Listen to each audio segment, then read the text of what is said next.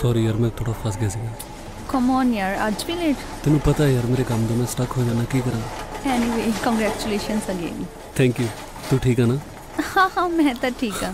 Thanks to the doctor ਉਹ ਸਿਮਰਨ ਤੂੰ? ਕਿੱਥੇ ਗਾਇਬ ਹੋ ਗਈ ਸੀ ਤੂੰ? ਨਾ ਫੋਨ ਨਾ ਸੋਸ਼ਲ ਮੀਡੀਆ ਹਾਂ? ਸਾਡੇ ਵਿਆਹ ਤੇ ਵੀ ਨਹੀਂ ਆਈ। ਅੱਛਾ ਯੂ ਨੋ ਈਚ ਅਦਰ ਹੋਰ ਕੀ? ਅਸੀਂ ਇਕੱਠੇ ਪੜ੍ਹਦੇ ਰਹੇ ਹਾਂ। ਇਕੱਠੇ ਪੜੇ ਹੋ? ਹਾਂ ਇਹ ਪੜ੍ਹਨ ਲਿਖਣ ਵਾਲੀ ਸੀ ਨਾ। ਦੇਖ ਲੈ ਫਾਈਨਲੀ ਡਾਕਟਰ ਬਣੇ। ਵਿਆਹ ਵੀ ਕਰਾ ਲਿਆ ਕਿ ਨਹੀਂ? ਨਹੀਂ ਅਜੇ ਮੰਮੀ ਦੀ ਨਾ ਕਾਲ ਆ ਰਹੀ ਹੈ? ਆਪਾਂ ਨੂੰ ਜਲਦੀ ਘਰ ਜਾਣਾ ਪੈਣਾ।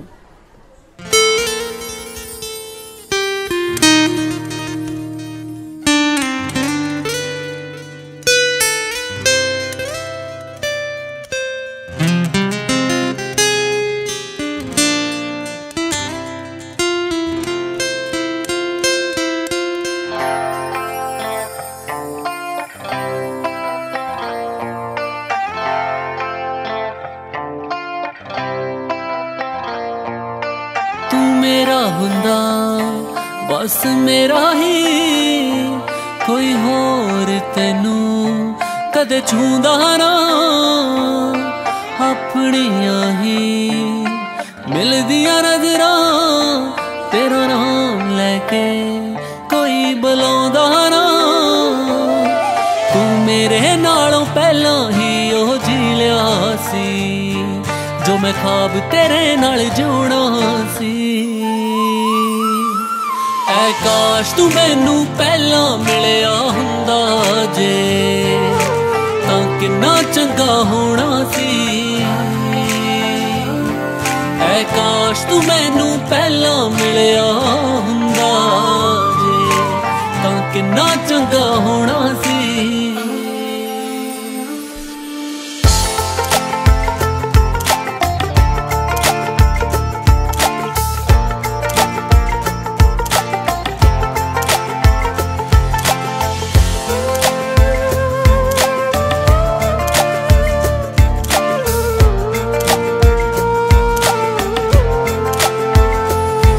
ਸਾਡੇ ਕਦਮ ਕਿਉਂ ਨਹੀਂ ਮਿਲਦੇ?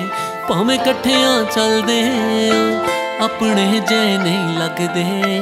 ਰਾਹ ਜਿਹੜੇ ਮਲਦੇ ਆ ਹਾਏ ਕਿਉਂ ਨਹੀਂ ਮਿਲਦਾ? ਪੂਰਾ ਜਹਾਂ ਸਭ ਨੂੰ ਤੈਨੂੰ ਪੁੱਛਦੀ ਆਪੇ ਬਣੇ ਹੋਏ।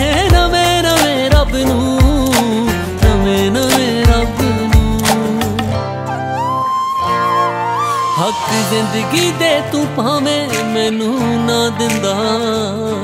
ਤੇਰੇ ਦਿਲ ਤੇ ਹੱਕ ਮੈਂ ਪਾਉਣਾ ਸੀ। ਐ ਕਾਸ਼ ਤੂੰ ਮੈਨੂੰ ਪਹਿਲਾਂ ਮਿਲਿਆ ਹੁੰਦਾ ਜੇ, ਤਾਂ ਕਿੰਨਾ ਚੰਗਾ ਹੋਣਾ ਸੀ। ਐ ਕਾਸ਼ ਤੂੰ ਮੈਨੂੰ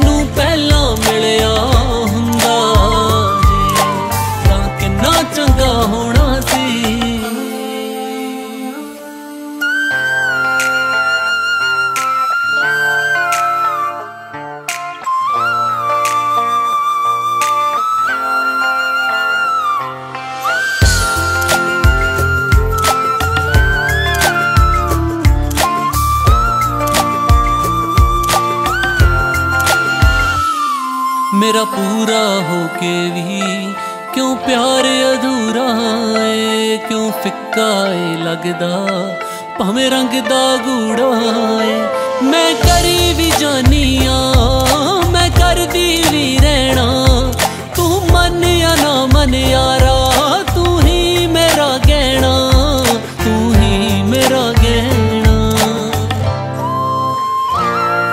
ਕੈਲੇ ਬਣਾ ਕੇ ਤੇਰੀ ਮੈਨੂੰ ਕਿਸਮਤ ਨੇ।